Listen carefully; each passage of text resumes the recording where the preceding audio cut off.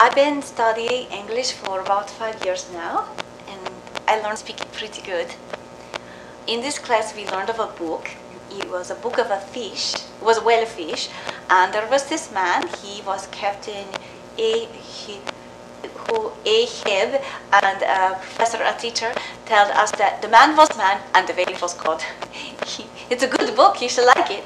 Um, the the name of this book is Moby Dick. When I was seven, my father they take him away. My father used to give me um, how do you call it? Penny? Penny. In my country it was something different, but you shall call it penny. And I would walk long, long ways from school, and it's pressed in my hand so hard you can still see circle when I am done. And I go to the store and I'm looking at all these candies, and I try to think in my mind, uh, calculate which one is the biggest, so it will last the longest.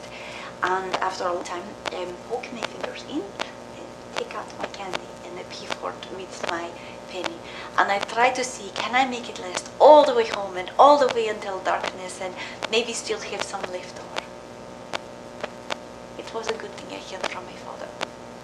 We live all in one room, and uh, my husband he work at a shop. He sell machines.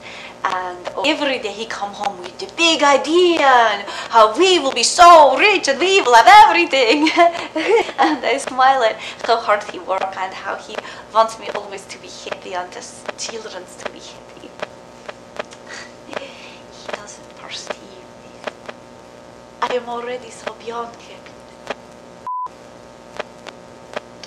i'm sorry I look at my little boy. I see him sleep with his little toy and I smile.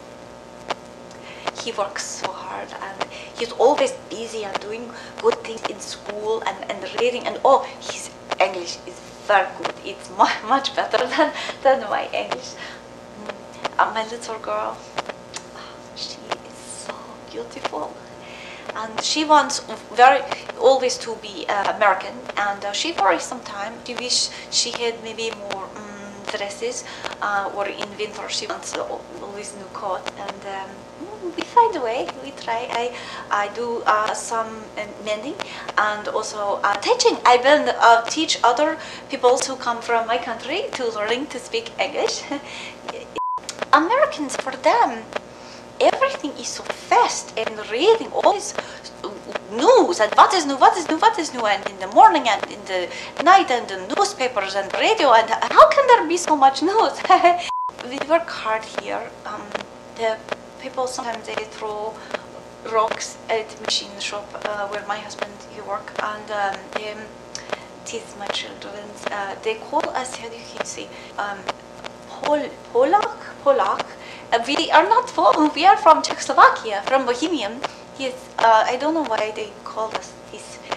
Um, Americans always looking for something. I'm not looking. I look only what I have in my hands. This, uh, you here in America, you go to the market and beautiful flowers you bring home and put on this wood table in spring.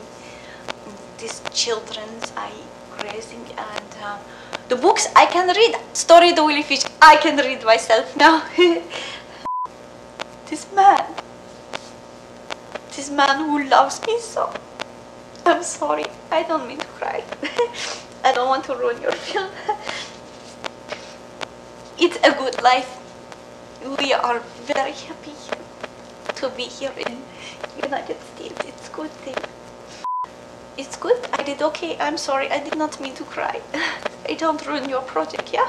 I wish you very good fortune and very good luck for your big project, your film success is to go to Holly- Hollywood, yeah? The movie is out. It's good for you. I talk too much. Thank you. Mm? Oh, Helga.